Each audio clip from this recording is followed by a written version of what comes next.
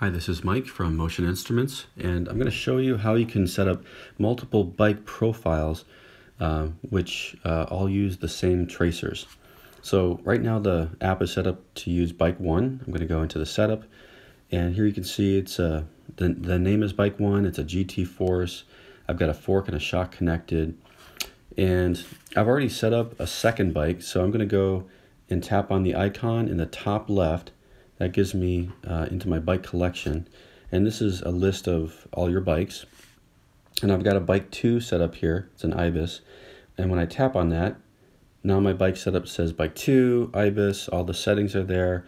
And you can see my fork and my shock tracers are still connected because these two bikes share the same tracers. So I'm, I'm ready to go ride. Um, and I can just switch back and forth. I'll switch back to bike 1. And there you go. And uh, now I can set up a bike 3. Um, so I'll go into my bike collection. In the top right, there's a plus.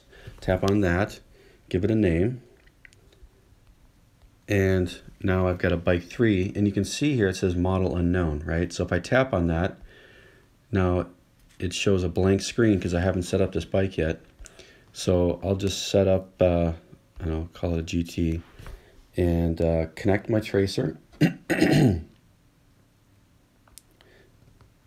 just like you would you know set up any bike this is this is no different. Um, just connect to your tracers. Um, do a calibration one time calibration here and I'm done. Now I've got bike 3 set up and I can start uh, recording live data off of uh, bike 3 so that's basically how you do it. You can set up as many bikes as you want um, and the app will remember which tracers they are and automatically connect to those tracers. That's it. Thanks for watching